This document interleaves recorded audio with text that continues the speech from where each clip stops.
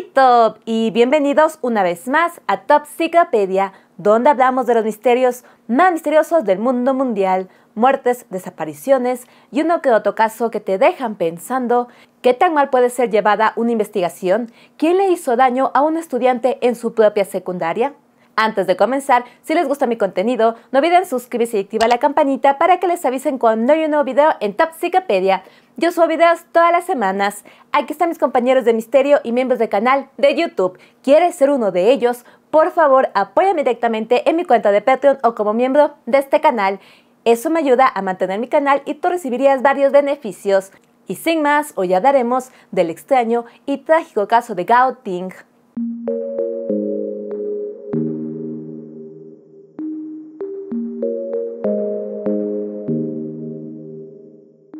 Gao Ting nació en marzo de 1989. Sus padres la criaron junto con su hermana mayor en un hogar familiar y acomodado en la ciudad de Linji, condado de Linshu, en la provincia de Shandong, en China.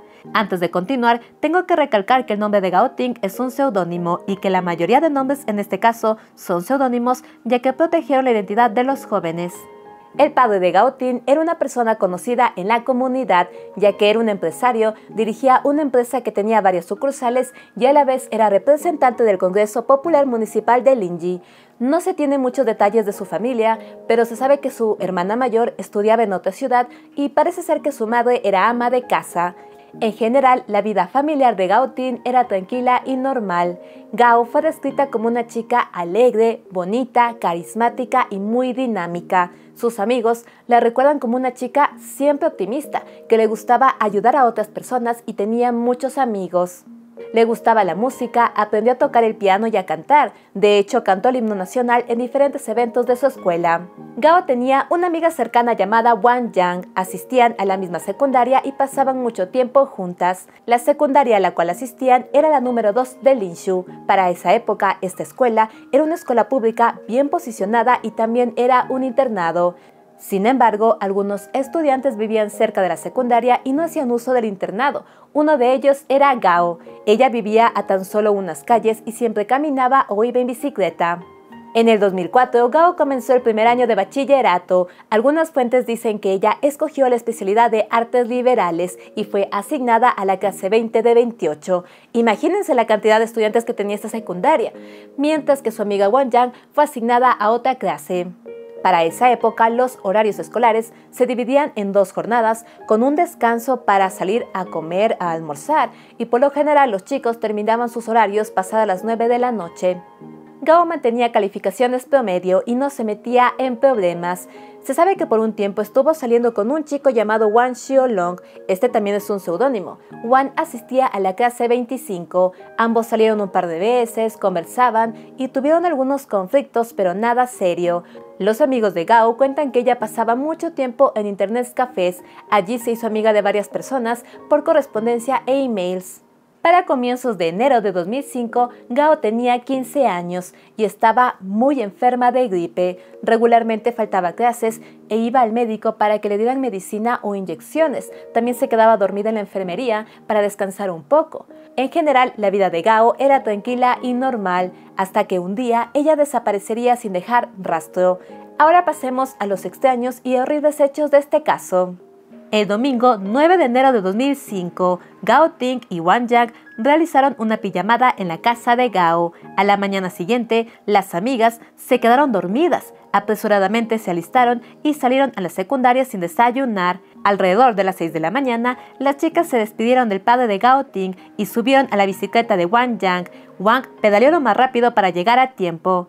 A las 6 y 13 de la mañana ingresaron al campus de la secundaria. Esta hora es exacta porque mientras caminaban para dejar la bicicleta sonó un timbre campana para hacer ejercicios matutinos. Luego de esto se realizaba el izamiento de la bandera. Este timbre estaba cronometrado para sonar en tiempos exactos.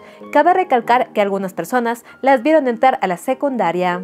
Mientras caminaban, Gao tomó de la canasta de su bicicleta sus dos libros de texto y su billetera. Juan apresuró el paso, le dijo a Gao que también fuera más rápido, pero Gao no le hizo caso y caminó a su ritmo. Más adelante, Juan se dio la vuelta para pedirle un favor a su amiga, pero ella ya no estaba. Como Gao estaba enferma, ella no estaba asistiendo a los ejercicios matutinos y se iba directo a su clase. Así que Wang creyó que su amiga se había ido directo al edificio de clases. Para ese momento no lo pensó mucho porque estaba de apuro y estaba tarde. Corrió con su bicicleta, le colocó el seguro y terminó yendo directo al patio. Ese día Gao Ting no asistió a clases. Sus compañeros y maestro creyeron que como estaba enferma había decidido quedarse en casa. Por lo general, Gao iba al almuerzo tipo 12 y 20 del mediodía y siempre caminaba con Wang Yang, así que a la hora de almuerzo, Wang Yang le esperó en la puerta, pero su amiga no apareció. Cuando pasó una compañera de la clase de Gao, Wang Yang le preguntó si había visto a Gao y entonces la chica le dijo que Gao no había asistido a las clases. Wang se quedó desconcertada, fue a una tienda y llamó a la casa de Gao, pero nadie contestó. Entonces ella supuso que su madre la había llevado al médico. Normalmente Gao no iba a almorzar a su casa, sino que iba a comer en un local de su padre. Los trabajadores de su padre esperaron a la chica a la hora normal de su almuerzo, pero ella no llegó. Cuando se hizo tarde, los empleados llamaron al papá de Gao y él de inmediato llamó a la madre que se encontraba en la casa. Ella le dijo que Gao no había contactado o había llamado diciendo que tenía otros planes. Sin embargo, la familia decidió darle el beneficio de la duda. A lo mejor ella había salido con alguna amiga a comer afuera o se había quedado en la secundaria. Después de terminar la jornada escolar, la hora usual de regreso de Gao a su casa era más o menos a las 9 y 20 de la noche. Sus padres la esperaron, prepararon la cena, los minutos pasaron, pero su hija no llegó. A las 9 y 40, su padre, muy preocupado, fue directamente a la secundaria y se encontró con que todas las actividades ya habían terminado. Con la ayuda de una maestra, revisaron diferentes partes del campus buscando a Gao. Luego, el padre pidió ver a algún compañero de clases de Gao que viviera en el campus, y fue entonces que supo que su hija no había asistido a clases. El padre de Gautin pidió hablar con el maestro o director de la secundaria, pero no lograron contactar a ninguno de los dos. Luego de esto regresó a su casa, le contó a su esposa la situación y ambos pasaron toda la noche llamando amigos conocidos preguntando si sabían algo de su hija. Al día siguiente, a las 5 de la mañana, el padre fue directo a la secundaria y comenzó a preguntar a los estudiantes si habían visto a su hija. Fue entonces que se encontró con Wang Yang. Ella le dijo que efectivamente el día anterior habían llegado juntas al campus, pero que luego de eso no había sabido más de su amiga. Pasada las 7 de la mañana, los padres de Gao se reunieron con el director de la secundaria, pero nada salió de esta reunión. Luego, los padres volvieron a su casa y revisaron la habitación de Gao. No faltaba ropa, objetos y no encontraron nada inusual que sugiriera que su hija había huido. Lo más extraño que encontraron fue una dirección y número de teléfono de un lugar en otra ciudad. Los padres realizaron el viaje de casi tres horas a esta ciudad y resultó que era un restaurante. Aquí las fuentes son confusas. Algunas dicen que el hijo del dueño era compañero de clases de Gao, pero por alguna razón no estaba asistiendo a clases, y otras dicen que era un chico que había conocido por internet, pero no habían hablado desde hace un par de meses. Sea como fuera, esta pista no ayudó para nada y regresaron a su ciudad. La noche del 11 de enero, el padre de Gao fue a la oficina de seguridad pública e informó de la situación, pero no colocó una denuncia de desaparición. Con la guía de un líder de la oficina de seguridad, durante dos días más realizaron algunas búsquedas, se movieron por diferentes lugares, pero sin rastro de Gao, el 14 de enero, el padre fue a una estación de policía y oficialmente denunció la desaparición de su hija. Las autoridades de inmediato registraron toda la secundaria e interrogaron a compañeros de clase de Tin. La búsqueda en la secundaria fue masiva. Los trabajadores de la institución cuentan que la policía revisó y registró en varias veces, en varias rondas, todas las zonas de la escuela, que no quedó ningún lugar sin registrar y aún así no encontraron rastro de Gao. La primera persona que la policía interrogó fue a Wang Yang. Ella intentó darles todos los detalles que recordaba sobre su amiga. Dijo que vestía una chaqueta amarilla, jeans, zapatos marrones y que los dos libros de texto que llevaba eran de inglés. Uno era de práctica y el otro era de vocabulario. También recordaba que llevaba su billetera y llaves. Por otro lado, mientras interrogaban a compañeros de clase de Gao, a la policía le llamó la atención que la mayoría de ellos sugirió que Gao podía haber huido de casa. Tiempo después descubrieron que el maestro de su clase les había insinuado que apuntaran hacia esa dirección para que la investigación no se centrara en la escuela. Mientras las autoridades registraban la secundaria e interrogaban a profesores, estudiantes, trabajadores y demás, Por su lado, el padre de Gautin no se quedó con los brazos cruzados. Él movilizó a todos sus trabajadores y varios oficiales por diferentes lugares de la ciudad y de la provincia buscando a su hija.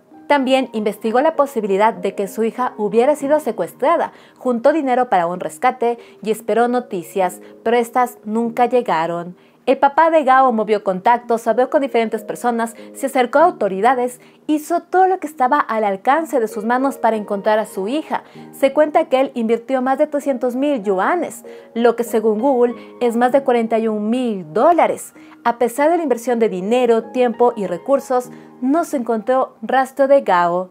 Los días pasaron, las semanas pasaron y la familia de Gao no perdía las esperanzas de que alguien se contactara con información.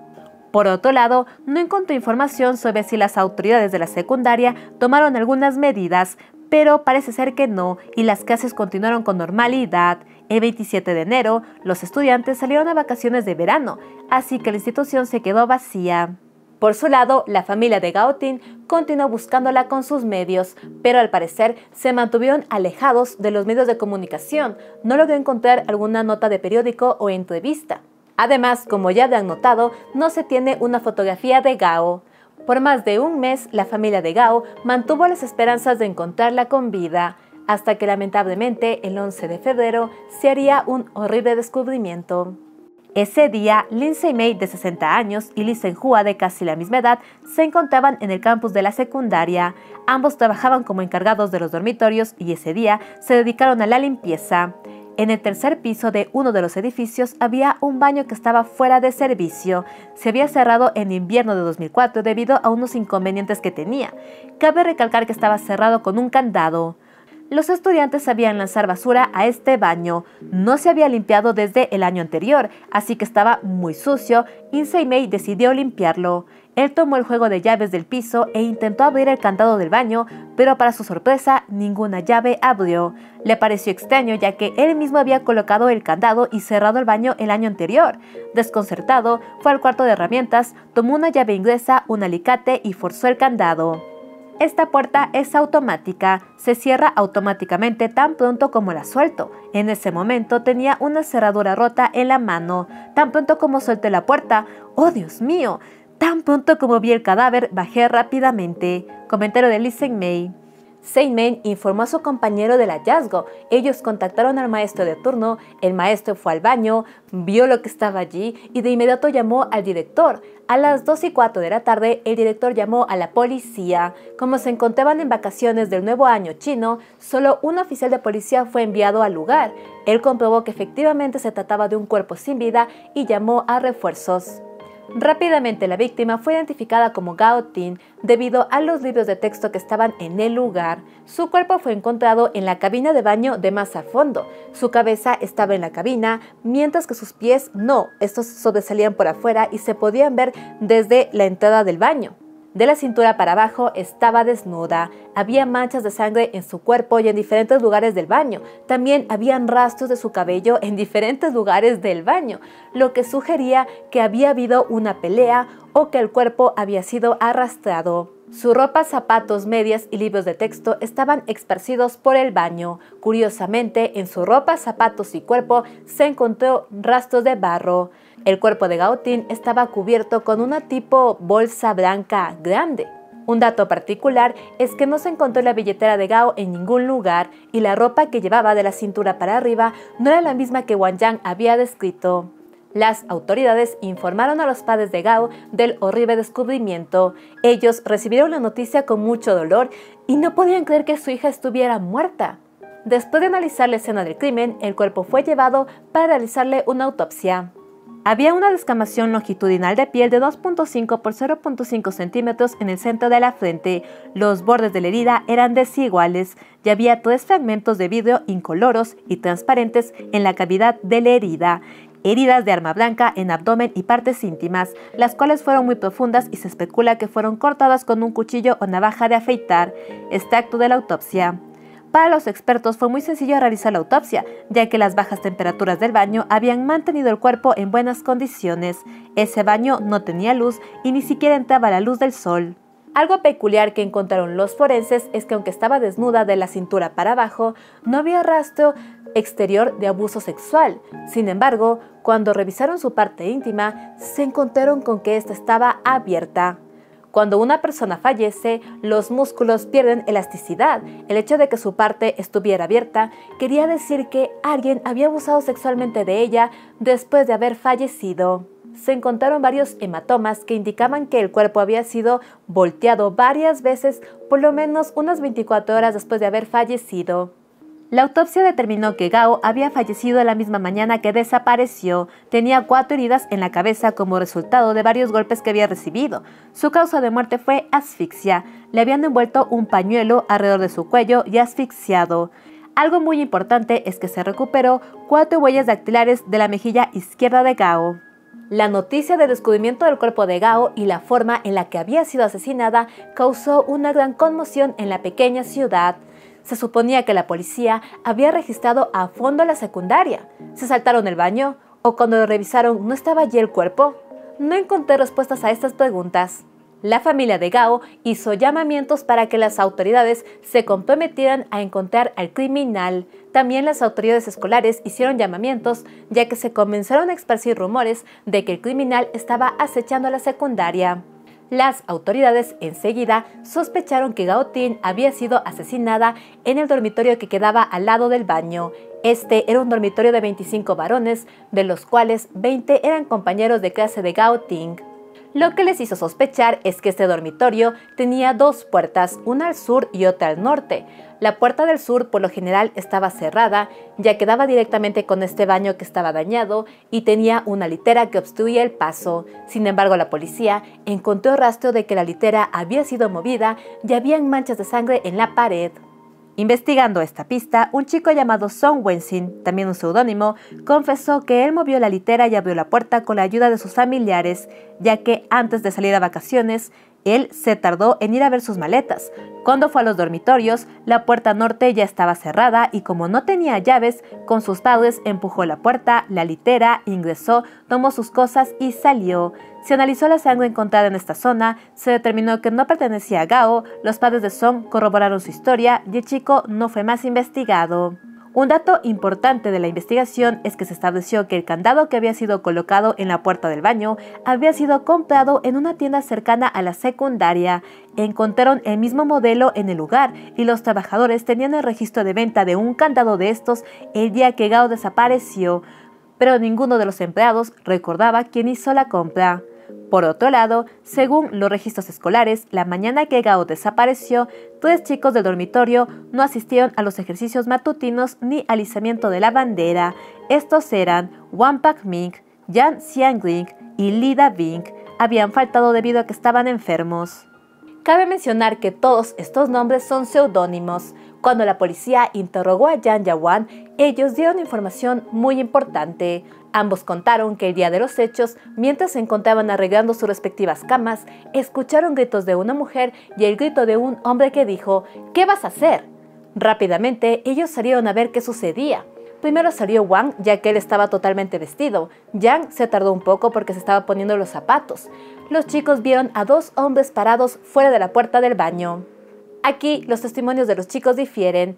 Jan dice que él quiso preguntarles a los hombres qué estaba sucediendo, pero prácticamente los hombres ya estaban de salida y no pudo preguntarles nada.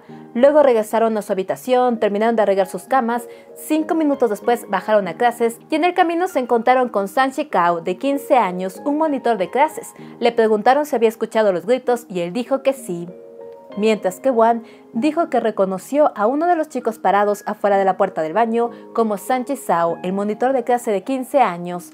Él le preguntó qué estaban haciendo, pero ninguno de los dos chicos respondió. Luego le preguntó quién gritaba, Sang le dijo no es nada y se fue.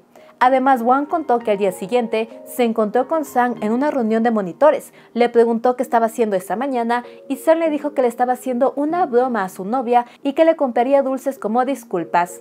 Jan describió a los hombres como personas de estatura media, estudiantes y que uno de ellos tenía lentes, mientras que Wan, como ya mencioné, reconoció a uno de los chicos como Sang y dijo que el otro chico tenía lentes.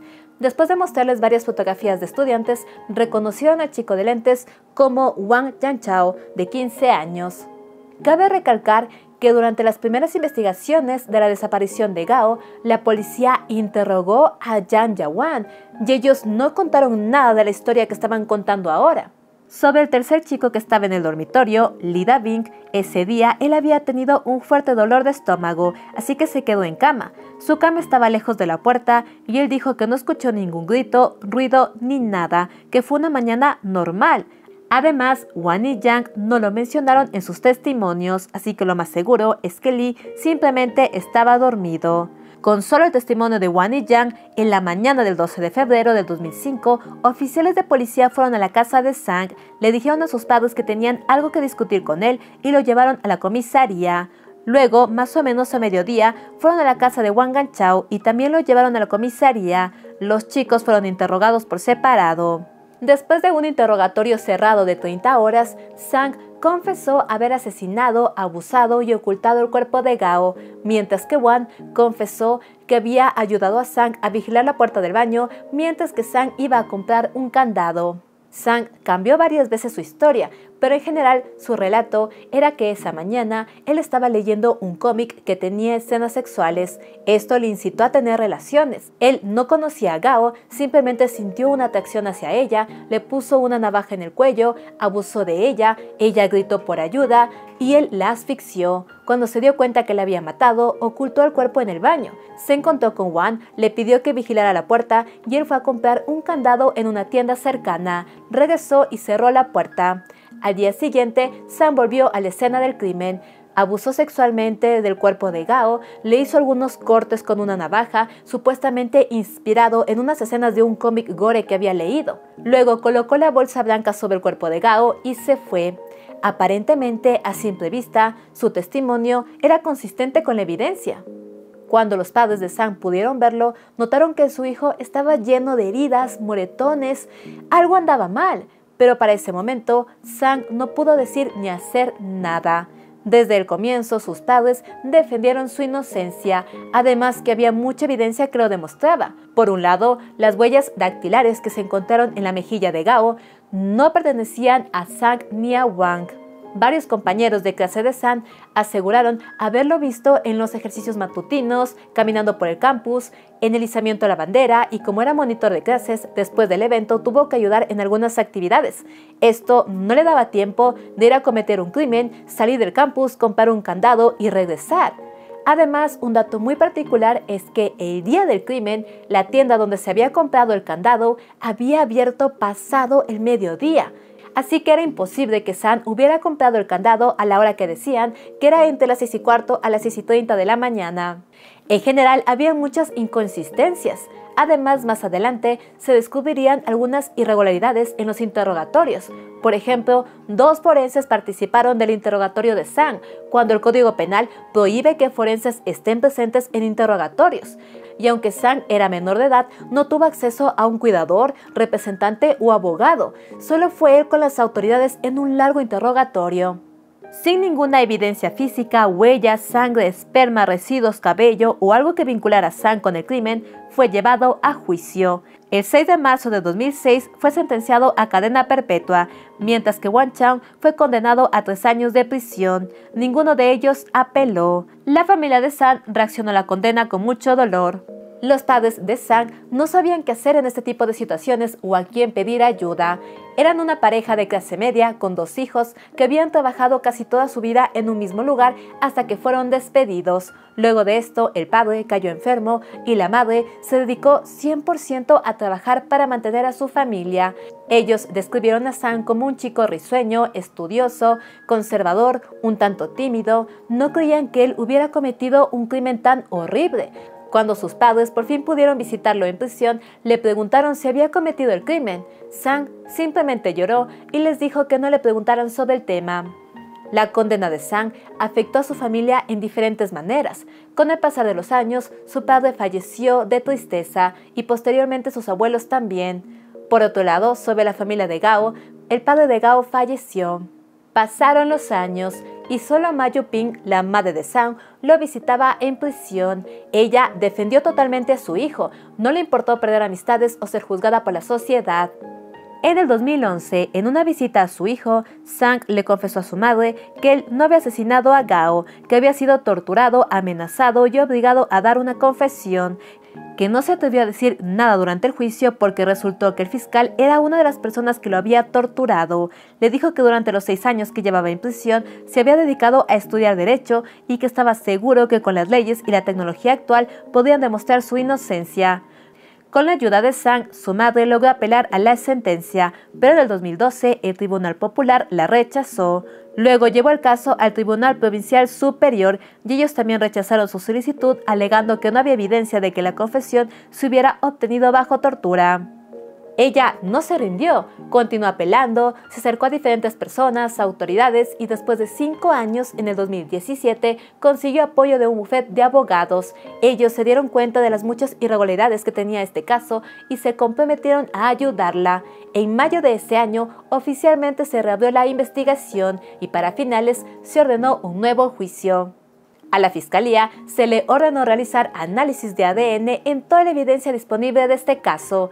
Habían manchas de sangre, cabellos, secreciones, residuos que se recuperaron del cuerpo de Gao. Se analizó toda esta evidencia y aunque se recuperó un perfil de ADN, este no pertenecía a Sang. El nuevo juicio fue postergado en más de seis ocasiones hasta que finalmente, en agosto de 2019, Sang fue de nuevo juzgado. Después de 14 años en prisión, Sang fue encontrado inocente y absuelto del caso. No pude controlarme cuando escuché que había sido declarado inocente y todos los días difíciles del pasado llegaron a su fin. Mi mente en ese momento se calmó. Comentario de la madre de Sang. El cielo es tan grande, solo hay una pequeña porción de cielo en prisión y siempre será solo esa porción del cielo. Comentario de Sang al salir del juicio. El 26 de enero de 2021, Sang recibió una compensación del Estado de 3.32 millones de yuanes. Se sabe que Wan también recibió una compensación. En junio de 2022, 12 exfuncionarios, entre forenses, oficiales y jueces, recibieron sanciones al ser responsabilizados de las condenas injustas de Sang y Wang. Aunque la familia de Sang obtuvo una victoria, por otro lado, la familia de Gao ganó más interrogantes. Ellos están de acuerdo con la inocencia de Sang, pero ahora tienen la gran duda de quién realmente asesinó a Gao.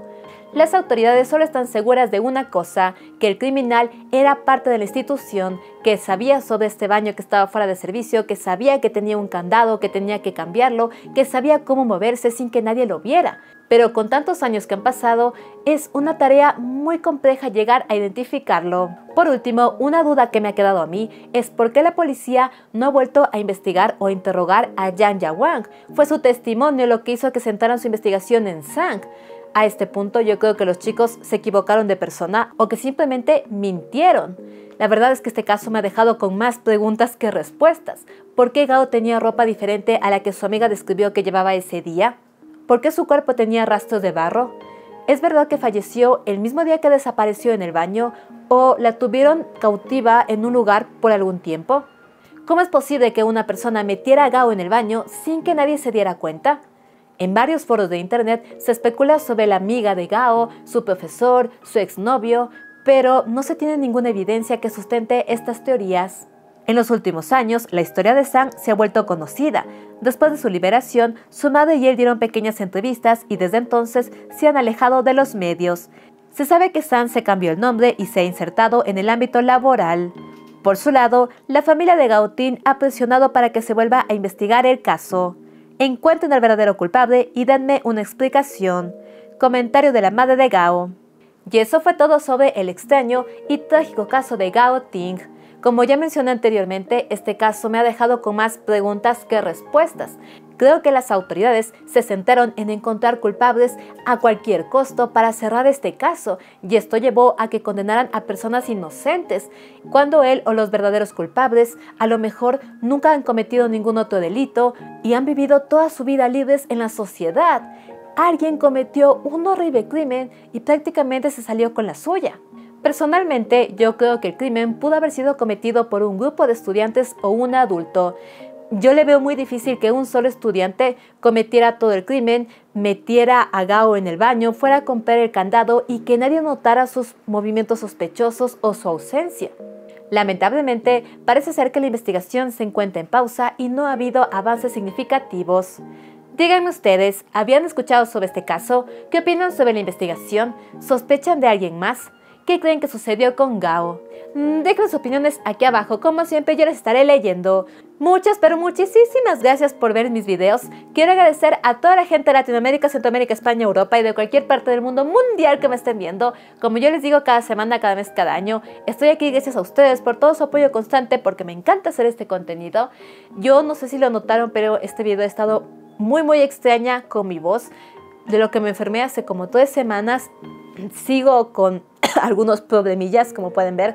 Todo y mi voz está muy extraña y necesito mejorarme de salud porque tengo un viaje importante en dos semanas. Un viaje importante de trabajo que me emociona un montón y quiero estar bien de salud, si no, no voy a disfrutarlo. Si les gusta mi contenido, no olviden darle like, comentar, suscribirse y compartir con todos sus amigos. Eso me ayudaría mucho. Aquí están mis compañeros de Misterio y miembros del canal de YouTube. ¿Quieres ser uno de ellos? Por favor, apóyame directamente en mi cuenta de Patreon o como miembro de este canal. Eso me ayudaría mucho para mantener mi canal, continuar haciendo estos videos y tú recibirías varios beneficios. Pueden suscribirse a mi canal de YouTube aquí, donde está saliendo mi cara. Soy Top y en esta fría noche que sigo enferma, estoy aquí con el Pierce bien mimido, con mi novio aquí jugando videojuegos porque estamos en feriado. Y nos vemos en un siguiente video en Top Ciclopedia. Bye, bye, bye, bye, bye.